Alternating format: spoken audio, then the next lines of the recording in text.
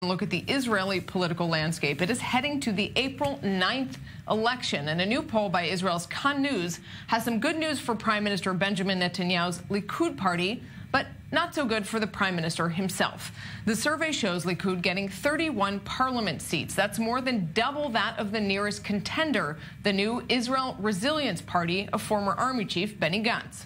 But when asked do you support or object to Attorney General Avichai Mandelblit releasing his findings on the Netanyahu corruption probes before the elections?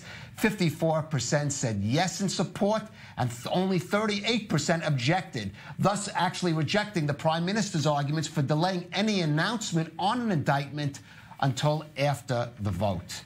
Well, joining us now is Jeff Barak. He's a columnist and the former editor in chief of the Jerusalem Post. Well, let's start with some good news, I guess, for Prime Minister Netanyahu. His Likud party, with all the talk about this new party, for example, by Benny Gantz, the former chief of staff, the Likud, still holding strong. Nothing seems to be denting that daunting lead it has. Right, and that actually isn't a surprise. Nothing's happened in the political debate over the past few weeks to suggest that Likud is anywhere close to losing their grip on power.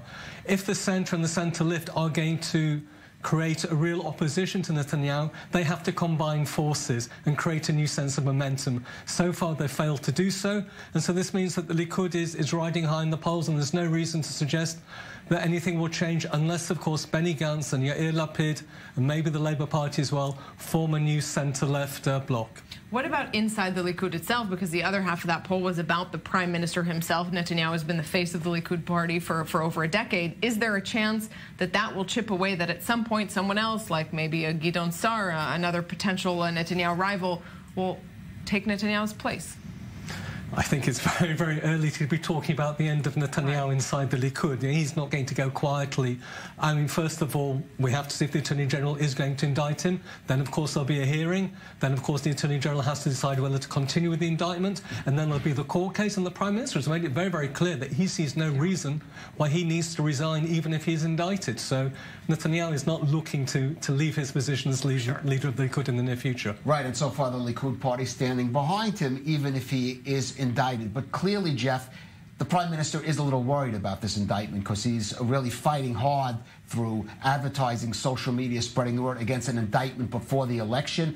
I think uh, perhaps concerned that could chip off a couple of seats from perhaps the Likud and maybe shifting to more someone like a Benny Gantz.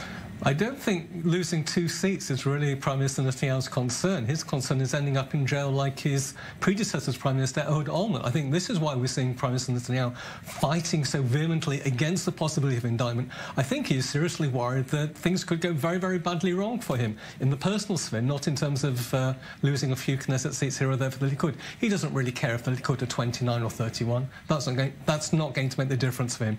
The difference for him is whether he's going to end up in jail or not. What's your take, uh, as Calev just mentioned, the, the reaction that we've seen from Netanyahu, a familiar one to our American viewers potentially, has been to undermine the legal system, to undermine police, uh, to challenge the Attorney General, Avichai Mandelblit. Do you think Netanyahu has been successful at sort of eroding trust in those institutions in Israel? Well, I mean, it's always been Netanyahu's playbook ever, ever since his first elections when he won as prime minister back in 1996. He's always looked to divide the nation. He's looked to say you're either with me or you're against me, and if you're against me, I'm going to go full power against you. He's always lashed out at the media. He's always seen the media as the opposition. There's nothing new. Uh, his attacks on law enforcement is new because it's based on, on, what's happening to him personally. This, I think, is very worrying for Israel's democracy. The idea that the prime minister of a country can attack the attorney general and the legal establishment, I think, is, is, is frightening. But he's not going to lay up on that until he wins this election, and I think he is going to try and fight the indictment.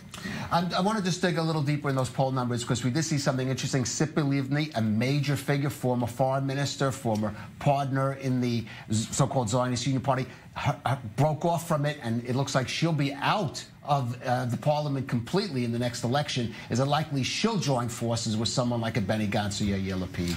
Well, it's not that she broke off from the Zionist Union. Well, Avi Gabbay kicked her out, and I think she has a problem. Uh, I think she's seen by those on the centre as being toxic. Both Yair Lapid and Benny Gantz don't want to be aligned with Tzipi Livni. Too far to the left. She's seen as too far to the left, so they're not looking to bring her on board, and uh, she's definitely struggling. All right. Well, a center left uh, fragmented into many different pieces here in Israel ahead of that election with three months to go. Over the next few uh, months, we'll see, next few weeks, really, we'll see a little bit more from the primaries of some of those parties where they tend to go. Jeff Barak.